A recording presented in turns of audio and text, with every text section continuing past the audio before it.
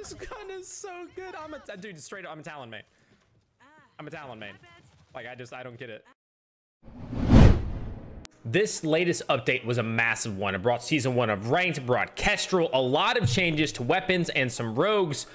But something that I find isn't too talked about yet is just how powerful the D3DI is now. That is going to be Fixer and Talon's DMR. When I say that sucker smacks, it smacks. So let's talk about that and what it can do to change the play of both Talon and Fixer.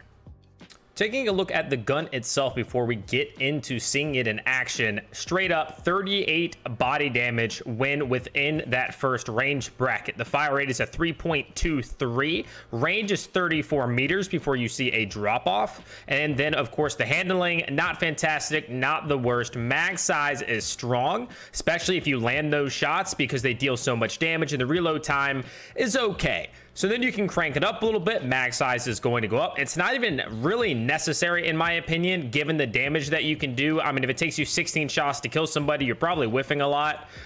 Taking it up to the next level, it's going to get a better accuracy and a reduced reticle bloom. And then tier three, that handling is really going to go up with that reduced recoil. So definitely not a bad idea to buff this sucker to the max, but it is completely viable without leveling it up as well if you decide you need to get something else in his kit, which has plenty to grab.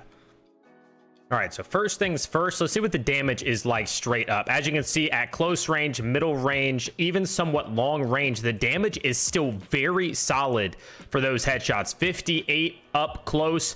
It's still pretty accurate even with moving targets. Uh, you do have to slow down the shooting maybe just a little bit to try to stay completely accurate because it spreads a decent amount, but it is a strong weapon. As see, even body shots, 38 damage at a decent range. You're not going to get all the way across the map, but 38 damage at a mediumish range to the body is an easy three tap potential, and the fire rate isn't slow enough to really make that not seem too great. I mean, that damage at that fire rate is not bad. The only time you're really going to run into any major issues is super up close because an SMG could potentially still win that fight unless you can land that headshot or a double headshot.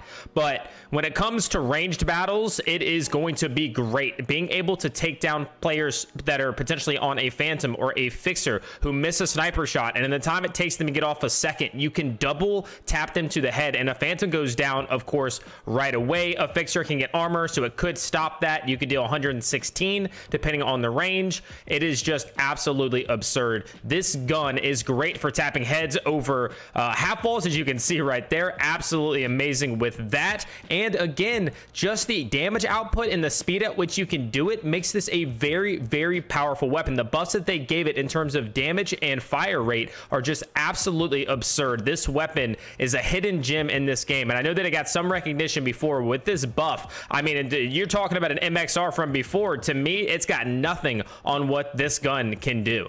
And I know none of these really bring that weapon into, for instance, what you can combine it with, whether that is the Talon Dart and knowing where somebody's at, or forcing somebody away with a C4 that both Fixer and Talon have, or even the smoke from Fixer and his vision, allowing you to pick off targets very quickly at range without having to use the sniper rifle, I don't have any clips of that, but they are very important factors and things that can make this weapon even better. And there you have it. I know it's a short one, not too detailed, but I wanted to get the word out there. I tried this last night and ranked when 5-0 using Talon with the new D3DI, and it was amazing. I was popping heads left and right, taking down people in fights that, in a lot of other situations, I might not win because I was able to land that initial headshot or two, 58 damage to 116 in two shots absolutely insane.